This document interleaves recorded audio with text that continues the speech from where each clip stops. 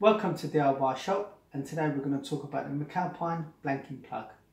Right, if we have a look over here,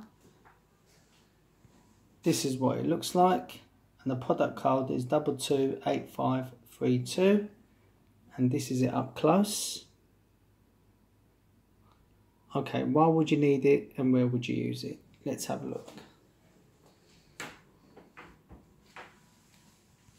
Okay, this is your trap this is your dishwasher spigot. This is your washing machine spigot.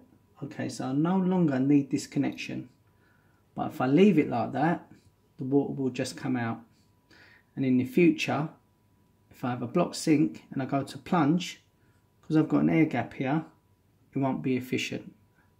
Okay, so let's just undo that here.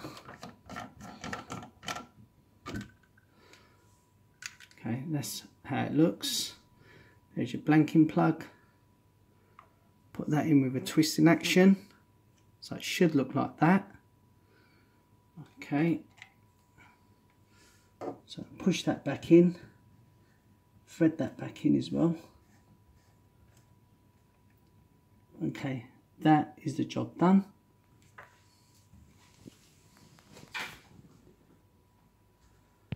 Thanks for watching.